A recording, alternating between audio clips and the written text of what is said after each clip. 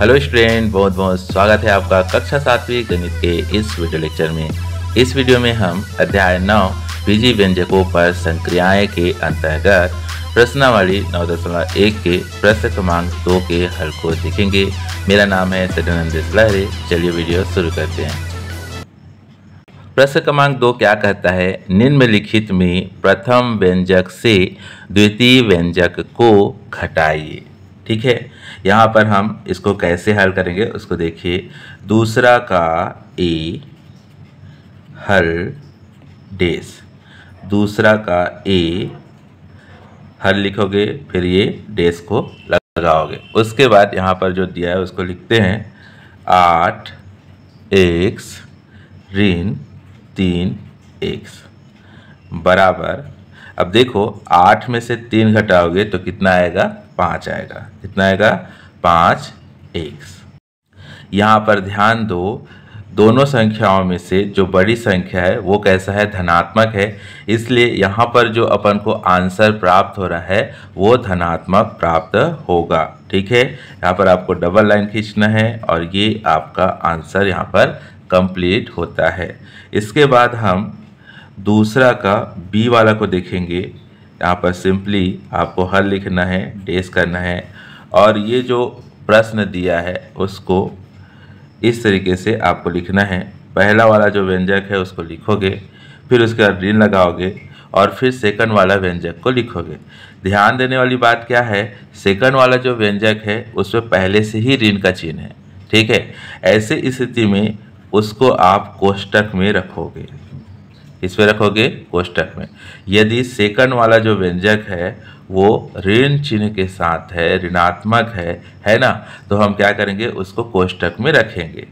इससे क्या होगा देखो, पहला वाला जो पद है, वो बारह एक्स बारह एक्स ही रहेगा। लेकिन सेकंड वाले में क्या होगा? ऋण और ये वाला जो ऋण है, आपस में गुना हो जाएँगे और ये धन हो जाएगा। क्या हो जाएगा? धन हो जाएगा और यहाँ पर आ जाएगा चार एक्स। ठीक है? फिर इसको आप जोड़ोगे बारह एक्स और चार एक्स को तो आपको मिलेगा सोलह एक्स कितना मिल जाएगा? सोलह एक्स यहाँ पर ध्यान देने वाली बात क्या है? यदि हमारा जो सेकंड पद है, यहाँ पर ध्यान देने वाली बात क्या है? यदि हमारा जो सेकंड पद है, जिसको हमें घटाना है, वह धनात्मक है। कैसा है? धनात्मक है। तो हम ऋण लगा के डायरेक्ट उसको लिख देंगे। यहाँ पर कोष्टक की आवश्यकता नहीं है। लेकिन यदि सेकंड वाला जो पद है, जिसको हम घटाने वाले हैं, वो ऋणात्मक है, ठीक है? तो हम क्या करेंगे? यहाँ पर ऋण चिन्ह के बाद कोष्टक लगाएँगे और फिर सेकंड वाले पद को लिखेंगे। ठीक है भाई? याद रहे? चलिए, अब हम दूसरा का सी वाला को देखते हैं। ठीक है? हल लिखेंगे, डेस करेंगे। पहला वाला जो है, वो सिंपल सा दिया अपन को, ऋण नौ एक्स क्या दिया है? ऋण नौ एक्स अब चूँकि ये पहला पद है, अब ये चाहे धनात्मक हो या ऋणात्मक हो, यहाँ पर आपको कोष्टक लगाने की आवश्यकता नहीं है। ठीक है? यहाँ पर हमें घटाने बोला है इस कारण से ये वाला ऋण का चिन्ह आएगा। अब इसके बाद सेकंड वाला जो पद है, वो क्या है? सिंपल सा एक्स है मतलब कि धनात्मक है, ऋणात्मक नहीं है। तो हम यहाँ पर सिंपली इसको इस तरीके से लिख लेंगे। अब यहाँ पर बराबर का चिन्ह लगाओगे। अब ध्यान दो, यहाँ पर दोनों के दोनों पद ही ऋणात्मक है। ठीक है? ऐसे स्थिति में दोनों आपस में जुड़ जाते हैं। ठीक? क्या क्या होता है? इस चीज़ को याद रखिएगा। यदि दो पद है ए और बी इस तरीके से है। ऋण ए, ऋण बी, ठीक है? तो ये आपस से जुड़ेंगे। यदि दो पद इस तरीके से हैं मतलब कि दोनों के दोनों धनात्मक है तो भी आपस से जुड़ेंगे। दोनों ऋणात्मक है तो भी आपस से जुड़ेंगे। घटाने की प्रक्रिया कब होती है? घटाने की प्रक्रिया तभी होता है जब एक धनात्मक हो और एक ऋणात्मक हो। ठीक है? तो यहाँ पर दोनों के दोनों ही कैसे हैं? ऋणात्मक है, इसलिए यहाँ पर जोड़ने की प्रक्रिया होगी। ठीक है? नौ एक्स और एक एक्स आपस से जुड़ेंगे तो कितना हो जाएगा? दस एक्स हो जाएगा। लेकिन ध्यान देने वाली बात क्या है? यहाँ पर जो पद आपस में जुड़ रहे हैं, वे कैसे हैं? ऋणात्मक हैं। दोनों के दोनों ही कैसे है? ऋणात्मक है। इसलिए योगफल जो आपको प्राप्त होगा, वो माइनस में प्राप्त होगा। फिर से बता रहा हूँ, यदि इस तरीके से आपको दो या दो से अधिक पद प्राप्त हो रहे हैं, सिंपली हम दो पद की बात करेंगे, ठीक है? तो दो पद आपको प्राप्त हो रहे हैं, यदि दोनों ऋणात्मक हैं तो वो जुड़ेंगे। क्या होंगे? जुड़ेंगे। जैसे यहाँ पर ऋण नौ एक्स और एक एक्स है। यहाँ पर एक को लिखे नहीं है, लेकिन एक एक्स है, ठीक है? ये आपस से जुड़ के दस एक्स होगा, है ना? लेकिन चूँकि ये ऋणात्मक पद हैं जो आपस से जुड़े हैं, इसलिए इसका योगफल ऋणात्मक प्राप्त होगा। ठीक है? यहाँ पर सिंपल सा हम यहाँ आंसर लिख लेंगे। इसके बाद हम देखते हैं दूसरा का डी वाला को। ठीक है? इसके बाद किसको देखेंगे? दूसरा का डी वाला को। तो दूसरा का डी वाला में अपन को क्या दिया भाई? दिया है ऋण पाँच एक्स। क्या दिया है? पहला वाला जो पद है वो क्या दिया है? ऋण पाँच एक्स। इसमें से अपन को घटाना है। किसको घटाओगे? ऋण आठ एक्स को। अब देखो, जिसको हम घटाने वाले हैं, जो सेकंड पद है, वो कैसा है? ऋणात्मक है। तो हम यहाँ पर कोष्टक लगा लेंगे और सेकंड वाले को लिखेंगे। देखो, ये वाला जो ऋण है, ये जो पहला पद है, उसका है। ये वाला जो ऋण है, सेकंड पद है, उसका है। ये वाला ऋण किसका है? इस प्रश्न में अपन को पहला पद में से दूसरा पद को घटाने बोला है। पहला व्यंजक में से दूसरा व्यंजक को घटाने बोला है। तो उस घटाने का ऋण है वाला। ठीक है? अब आगे बराबर का चिन्ह लगाओगे। ऋण पाँच एक्स इसको इस तरीके से लिखोगे। ठीक है? फिर उसके बाद देखो, ऋण और ऋण आपस से गुना होगा तो क्या हो जाएगा ये? धन हो जाएगा। ठीक है? और फिर आठ एक्स अब यहाँ पर ध्यान देने वाली बात क्या है? एक पद आपका ऋणात्मक है, दूसरा पद धनात्मक है। ऐसे स्थिति में घटाने की प्रक्रिया होती है। एक ऋणात्मक हो, दूसरा धनात्मक हो तो घटाने की प्रक्रिया होती है। जो बड़ी संख्या है, उसमें से छोटी संख्या को घटाया जाता है। ठीक है? यहाँ पर देखो, आठ बड़ा है पाँच छोटा है तो आठ में से पाँच को घटाएँगे तो कितना आ जाएगा? तीन एक्स आ जाएगा। ठीक है? कितना एक्स आ जाएगा? तीन एक्स। अब ध्यान देने वाली बात क्या है? जो बड़ी संख्या है, वो कैसा है? धनात्मक है। बड़ी संख्या जब धनात्मक होती है तो जो आंसर आता है, वो धनात्मक प्राप्त होता है। ठीक है? याद रहेगा? अब हम देखेंगे दूसरा का ई वाला को ठीक है? दूसरा का ई यहाँ पर हमें एक पद नहीं दिया है, एक से अधिक पद दिया है, ठीक है? तो जब आपको एक से अधिक पद दिया रहेगा, जैसे कि यहाँ पर देखो तीन पद है है ना? यहाँ पर भी तीन पद है। ऐसे में आप कोष्टकों का प्रयोग करोगे, ठीक है? याद रहेगा? चलो भाई, हल लिखते हैं टेस्ट करेंगे। एक्स घात दो ऋण तीन एक्स धन, सात। इसमें से अपन को घटाना है ऋण तीन एक्स घात दो, ऋण चार एक्स, ऋण दो को। अरे सॉरी यहाँ पर तो दिखा नहीं रे बाबा, है ना? थोड़ा जूम आउट कर लेते हैं।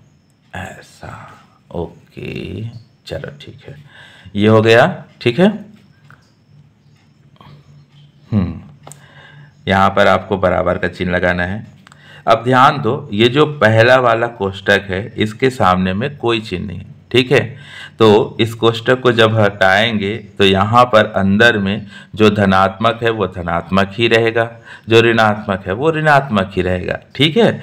तो यहाँ पर एक्स की घात दो, ऋण, तीन एक्स धन, सात। ये जैसा है, वैसा ही उतार दिए। अब यहाँ पर ध्यान दो, इस कोष्टक के सामने में ऋण है। ठीक है? ऐसे स्थिति में जब आप इस कोष्टक को हटाओगे तो जहाँ जहाँ ऋण का चिन्ह है, वो सब धनात्मक हो जाएँगे। जहाँ जहाँ ऋण का चिन्ह है, वे सब धनात्मक हो जाएँगे, और जहाँ जहाँ धन है, वे सब ऋणात्मक हो जाएँगे। अब देखते भाई, इस ऋण का गुना इस ऋण के साथ होगा तो क्या हो जाएगा? धन हो जाएगा। तीन, एक घात दो। ऋण का गुना अगेन इस ऋण के साथ होगा तो फिर से धन चार एक्स। ऋण का गुना इस ऋण के साथ होगा तो धन दो। इस टाइप से अपन को प्राप्त होगा ओके फिर उसके बाद यहाँ पर बराबर का चिन्ह लगाएँगे। अब जो सजाती पद है, उसको पास पास लाएँगे, ठीक है? एक्स की घात दो, इसका सजाती पद है तीन, एक्स की घात दो। ऋण तीन एक्स, इसका सजाती पद है धन चार एक्स। उसके बाद धन सात धन दो। सजाती पदों को एक साथ रखेंगे। ठीक है? जैसे ये सजाती पद है, ये सजाती पद है, ये सजाती पद है। ठीक है? अब यहाँ पर ध्यान दो। ये वाला धनात्मक है, ये भी धनात्मक है। धन धन आपस से जुड़ के धन हो जाते हैं। ठीक है? तो एक से घात दो, धन, तीन एक से घात दो मिल के कितना हो जाएँगे? चार एक से घात दो। दोनों धनात्मक है, इसलिए ये वाला भी धनात्मक प्राप्त होगा। अब यहाँ पर देखते हैं, एक ऋण में है, एक धन में है। ऐसे इस स्थिति की प्रक्रिया होती है और संख्यात्मक दृष्टि से जो बड़ा दिख रहा है, उसमें से छोटे वाले को घटा देना है। यहाँ पर चार में से तीन को घटाएँगे तो कितना आएगा? एक आएगा। एक को लिखने की ज़रूरत नहीं पड़ती, डायरेक्ट हम एक्स लिखेंगे। और चूँकि जो बड़ी संख्या है, वो धनात्मक है, इसलिए जो ये एक्स प्राप्त हो रहा है, ये धन में प्राप्त होगा। ओके? अब देखो यहाँ पर सात और दो, दोनों कैसे धनात्मक है। आपस में क्या हो जाएँगे? जुड़ेंगे। तो कितना हो जाएगा? धन नौ। ठीक है? और इस तरीके से यहाँ पर आंसर कंप्लीट हो जाता है। चलिए, अब हम देखते हैं दूसरा का एफ़ वाला को। ओके, हल लिखेंगे, डेस करेंगे। जो पहला वाला व्यंजक है, उसको सिंपली इस तरीके से लिख लो, कोष्टक में रखो। फिर उसके बाद ऋण का चिन्ह लगाओ। सेकंड कोष्टक स्टार्ट करो और सेकंड वाला जो व्यंजक दिया है, उसको ज्यों का त्यों उतार दो भाई। है ना? क्या है भाई सेकंड वाला व्यंजक? Five Y minus X minus three Z. Okay? यहाँ पर बराबर का चिन्ह लगाएँगे। है ना? और अब इसको सॉल्व करेंगे। तो पहला वाला कोष्टक को जब हटाओगे तो यहाँ पर ये जैसा है, वैसा ही आपको मिल जाएगा, क्योंकि इस कोष्टक के सामने में कोई चिन्ह नहीं है। लेकिन इस कोष्टक को हटाओगे तो यहाँ पर क्या है? ऋण का चिन्ह है। इस ऋण का गुना अंदर के पदों के साथ होगा। तो ऋण के साथ होगा। चूँकि ये पाँच वाई के सामने में ऋण का चिन्ह नहीं है मतलब कि ये कैसा धनात्मक है। तो ऋण का गुना इसके साथ होगा तो ये हो जाएगा ऋण पाँच वाई ऋण का गुना इस ऋण के साथ होगा तो धन एक्स ऋण का गुना इस ऋण के साथ होगा तो धन थ्री जेड। यहाँ तक क्लियर? एक्स धन एक्स ये वाला और ये वाला सजाती पद है तो साथ साथ रख लिया। फिर उसके बाद ऋण तीन वाई ऋण पाँच वाई फिर उसके बाद धन तीन जेड। ओके, यहाँ तक क्लियर? ये एक्स और ये वाला एक्स, दोनों कैसे हैं? धनात्मक है। यहाँ पर धन का चिन्ह नहीं है, लेकिन ऋण का चिन्ह भी नहीं है, ठीक है? तो जब ऋण का चिन्ह नहीं रहता तो उसको धन माना जाता है, ओके? तो धन धन आपस में जुड़ के धन हो जाएँगे। तो क्या हो जाएगा ये? टू एक्स हो जाएगा, ठीक है? यहाँ पर ध्यान दो ये वाला पद और ये वाला पद, दोनों कैसे हैं? ऋणात्मक है। कैसे हैं? ऋणात्मक। ऋण और ऋण आपस में जुड़ते हैं, ठीक है? ऋण और ऋण रहेंगे, दोनों ऋण रहेंगे तो रहेंगे लेकिन आंसर आपको ऋणात्मक प्राप्त होगा, ठीक है? तो ये दोनों, लेकिन आंसर कैसा प्राप्त होगा? ऋणात्मक।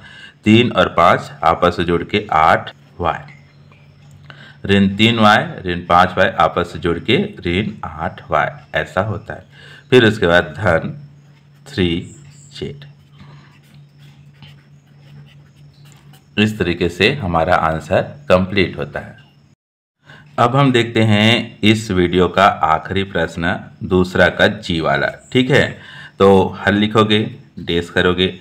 और ये जो पहला व्यंजक है, जैसा दिया है, वैसा ही सेम टू सेम उतारो। और इसको कोष्टक में रख लो। यदि आप पहला वाला जो व्यंजक है, उसको कोष्टक में नहीं रखते हो तो भी काम चल जाता है।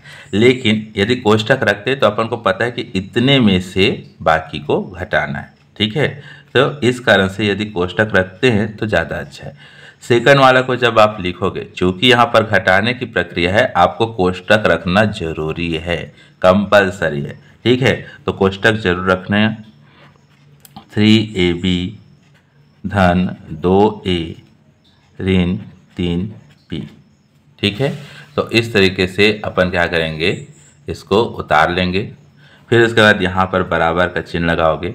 ठीक है? कई बच्चे ना यार, बड़ा कंफ्यूज आइटम रहते हैं। वो इस चिन्ह में, इस चिन्ह में, इस चिन्ह में, इस चिन्ह में अंतर नहीं समझते। ठीक है? कहीं भी कुछ भी लगा देते। है ना? तो जब आप लोग मेरे द्वारा यहाँ पर पढ़ रहे हो तो जहाँ पर मैं बराबर का चिन्ह लगा रहा हूँ, वहाँ पर बराबर ही लगाओ। जहाँ पर ऋण लगा रहे तो ऋण लगाओ, जहाँ पर डेस लगाने बोल रहे हो तो डेस लगाओ, है ना? जहाँ पर ये वाला तीर लगाने बोल रहे हो तो ये तीर लगाओ। निर्दा का चिन्ह है तो उसको वहाँ पर। क्योंकि सभी चिन्ह का अपना अपना मतलब होता है, ठीक है? यहाँ पर अपन क्या बता रहे हैं, इसके इक्वल ये है, फिर उसके बाद इक्वल ये है। है ना? मतलब इसके मान को नीचे लिखते जा रहे हैं तो हम बराबर का चिन्ह लगाते हैं। लेकिन जब कोई समीकरण होता है, जिसमें दो पक्ष होता है और उसमें आपस में क्रिया होती है तो हम निर्देशित कर्ता का चिन्ह लगाते हैं। यहाँ पर हल के बाद हम डेस का चिन्ह लगाते हैं, है ना? तो इन सब चीज़ों को ना याद रखना चाहिए, ठीक है? कुछ भी कहीं भी उल्टा पुल्टा चिन्ह को नहीं लगा देना है, ठीक है ना?